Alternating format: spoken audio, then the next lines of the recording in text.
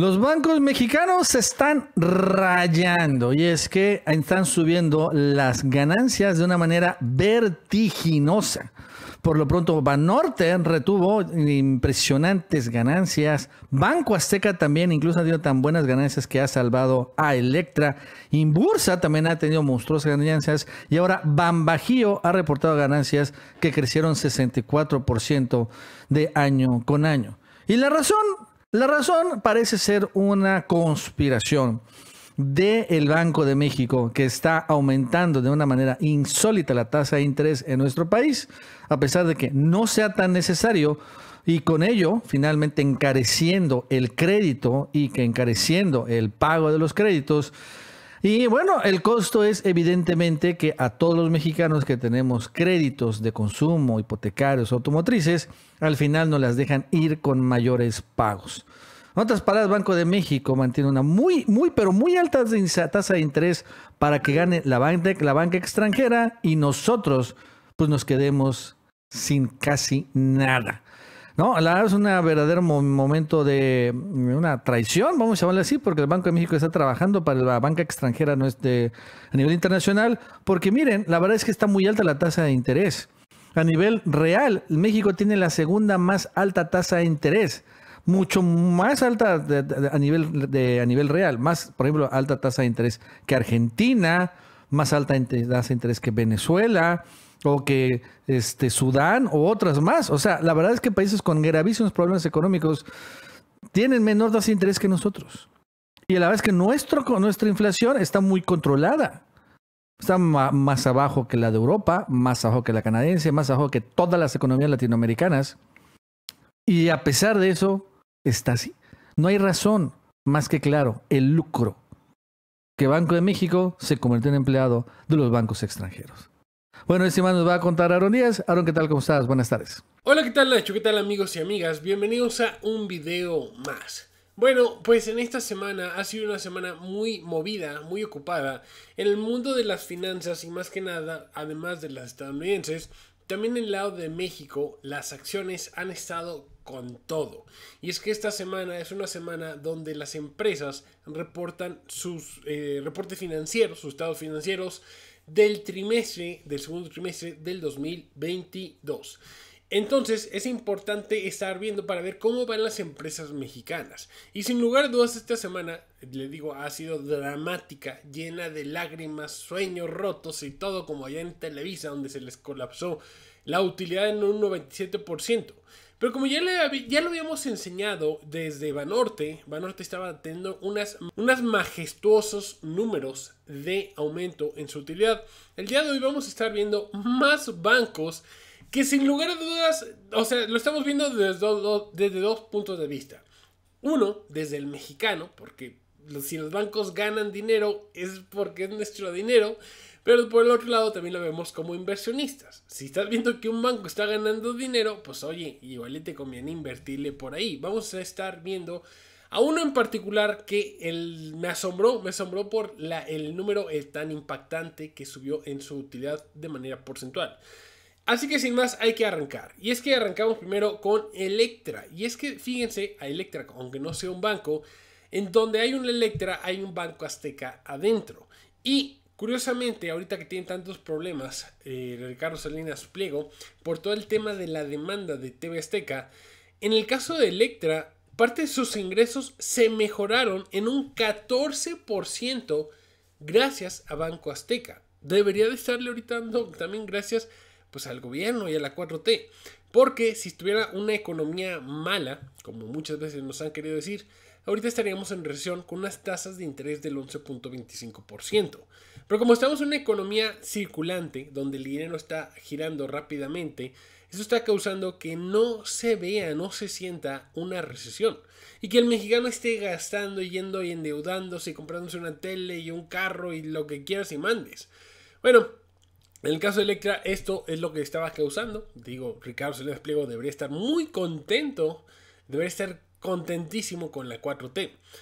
También tenemos a Banco en Bursa, este de Carlos Slim. Y Carlos Slim está con una historia extremadamente similar. Realmente todos los bancos en estos momentos están dejando atrás ese fantasma incómodo de la caída de los bancos que se vivió en marzo, abril y mayo. Ahorita ya lo estamos viendo como un lejano recuerdo.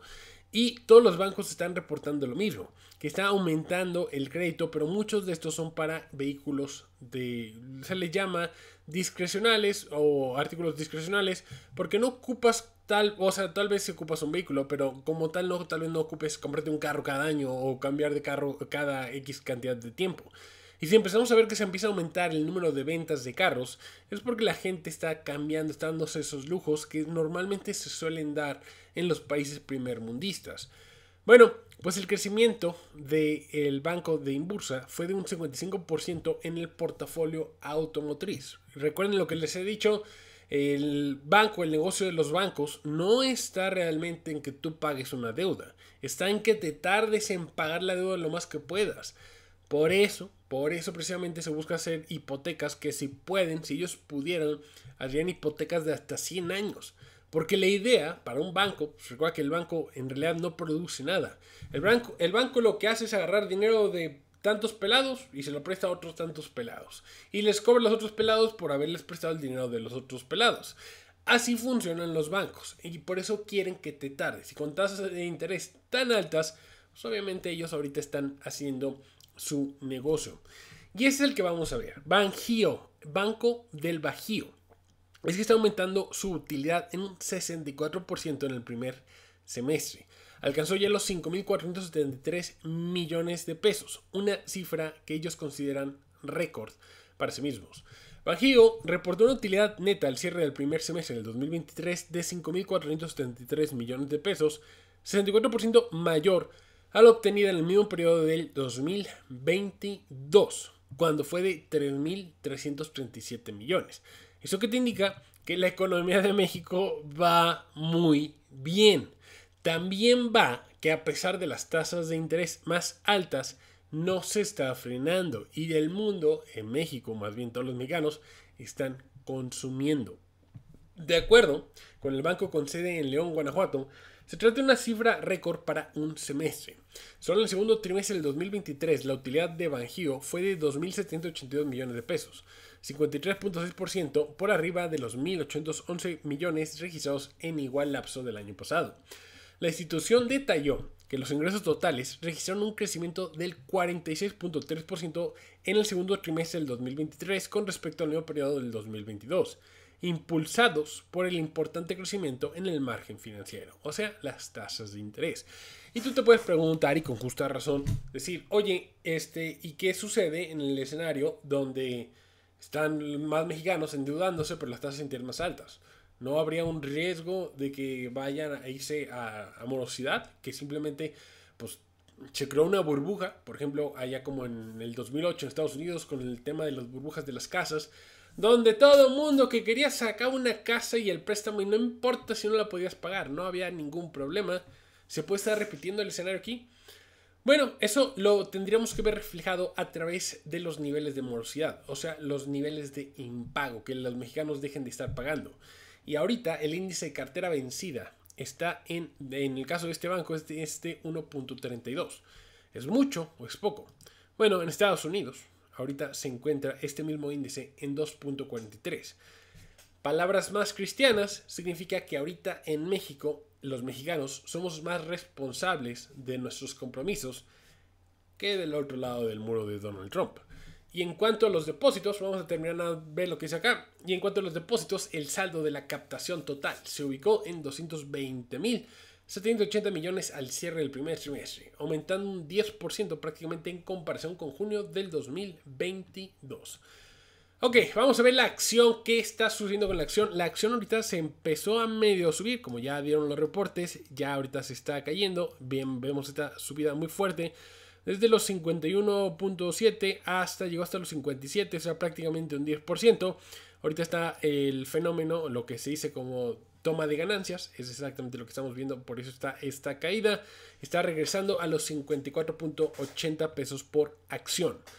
Eh, si nos vamos a ver si conviene o no conviene, ahorita toma en cuenta que la rentabilidad, la verdad, yo no te diría que compres ahorita acción de este banco, no lo hagas, porque porque la rentabilidad por dividendo es del 7.15%. Es extremadamente baja si lo comparamos, como por ejemplo, si compras CETES, CETES del gobierno mexicano, los cuales están pagando ahorita cerca de un 12%, pues ¿para qué te pones a comprar eh, este clase de, acciones? Al final te conviene más, mejor comprarle al gobierno unos CETES y te van a pagar más. Cómpralo durante 8 o 10 años. La hora sí que también toma en cuenta que va a ser dinero que va a estar bloqueado y te va a estar pagando esta cantidad más alta, mucho más alta que lo que te paga este banco. Ahora, si estuviéramos hablando de un momento donde eh, las tasas de interés llegan a caer en México abajo del 7%, pues ahí sí, cómprale esta acción. Esta te estaría pagando un poquito más que los CETES, pero bueno, así lo tenemos. Yo ahorita no lo haría. Eh, viendo también los indicadores, de hecho, ahorita todos los indicadores nos dicen Véndelo, véndelo. Ha subido un 20% en lo que va de un, el último año, pero sí, los indicadores nos dicen, no, es vender, vender, vender. Ahorita, por el tema de que como ya dieron las, los resultados, ya se dio, ya no te conviene ahorita quedártelos. Nada más salte, en todo caso, si tienes la acción y la vuelves a comprar, yo la estaría comprando aquí a los 53 pesos en caso de que la quisieras comprar ahí la estarías comprando. Pero bueno, espero que el video les haya gustado. Si fue así, por favor, dejen un like, un comentario, compartan para que lleguemos a más personas. Les invito a suscribirse en caso de que no estén suscritos. Los veo en un siguiente video. Cuídense mucho. Bye.